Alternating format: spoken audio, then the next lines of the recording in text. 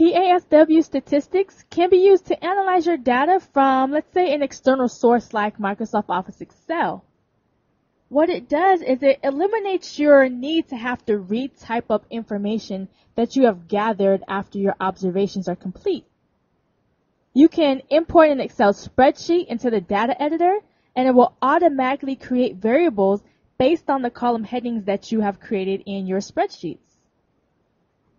Also, you can export the data from the PASW data editor window back to Excel, as well as you can also export it to Microsoft Office PowerPoint. Ensure you have your two-way ANOVA data file open. Then, click the File menu. Select the Open option. Then, select Data. In the Open Data dialog box, select the down point arrow in the Files of Type option. Scroll through the options until you come to the Excel option, the .xls, .xlsx, then select that option. Locate the demo Excel file, then click to select it. Finally, select the Open button. In the Opening Excel Data Source dialog box, it allows you to choose certain options like which rows of data you would like to include, if you want to use the first row of data as the variable names, which worksheet you want to import, as well as you can specify a particular data range only. Choose your options now, then click the OK button. Wait a few moments for the commands to be processed. Then, the file should load with all of the corresponding headers that once were your um, column labels in your Excel file, as well as all the data should be the exact same way as it was when it was in Excel. Because if you recall, Excel has a pretty similar interface that PASW has.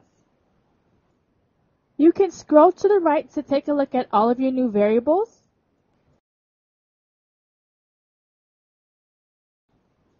Due to the nature of importing information from different programs, everything may not be 100% congruent.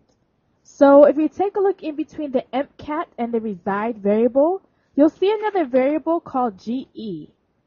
Now you can simply make sure that you know exactly what this variable is by expanding the width of the column and you can do so by clicking to the vertical line to the right of the GE variable. When you click with your left mouse, hold it down and pull to the right until you see that the variable is called gender. Once you're done, release your mouse. Not only can you import data from Excel, let's say you're a working student and you can't afford to purchase the PASW Statistics 17 program. You can always transfer it um, to a campus to work on your information. And as soon as you're all done and you want to store it, let's say at home, you can always export that information from PASW back to Excel. First, let's close out of this imported document by clicking on the Close button in the upper right hand corner of your data file. You do not need to save the changes, so select the No button. Before you export, you should ensure that you've saved the current changes. Once you have, select the File menu. Then, select the Save As option. By default, it's going to prompt you to save the current data file by the default type with whatever program you're working with.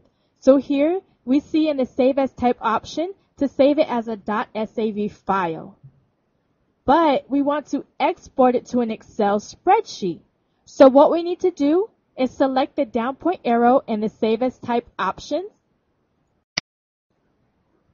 Then select the Excel option that best suits the needs for the different software that you have installed in your computer. You may have Excel 97, 2000, 2003, or 2007. Just ensure that you choose the right one that's going to allow you to look at the Excel datasheet once it's been exported. For this example, I'm going to select Excel 97 through 2003. You can choose a destination. I'm just going to go ahead and save mine in the current folder. As well as you want to type in a file name that's going to allow you to remember what it is that you're saving. So go ahead and type in a file name now. Also, you can choose which one of the variables that you want to export. Like let's say you have a limited amount of space left on your computer. So there's only a particular number, let's say five variables that you're going to be working with at home. So you can simply choose to export those five variables by first clicking on the variable button. In the Save As Variables dialog box, it's going to list all of the variables in the current data file. And the checks are going to denote the fact that you want to export those variables. And by default, all of your variables are going to be checked because they're going to assume that you want to export the data file as is. Now, as I just explained, if you only wanted to keep a particular number, you can actually disregard a couple of the variables by deselecting them. I'm going to deselect my score variable now by clicking in the Score Keep checkbox.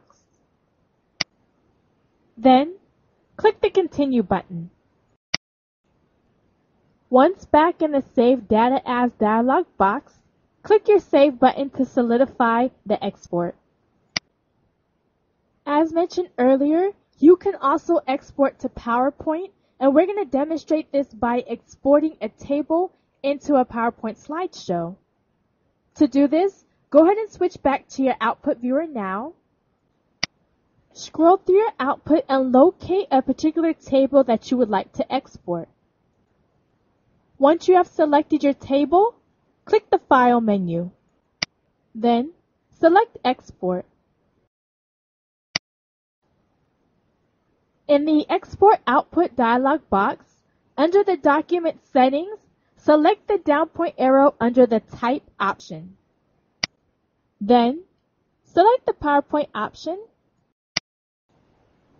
and select the OK button to solidify the export.